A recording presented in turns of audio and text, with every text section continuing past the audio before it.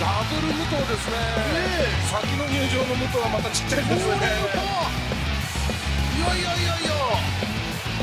おなじみの武藤敬司のテーマ曲が大きく流れるこの後楽園ホールに。ダブル武藤が入場。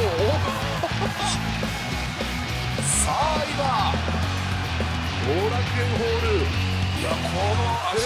の動きなんかまさにね見分けつかないですね。そうですね。いやいやいやいや。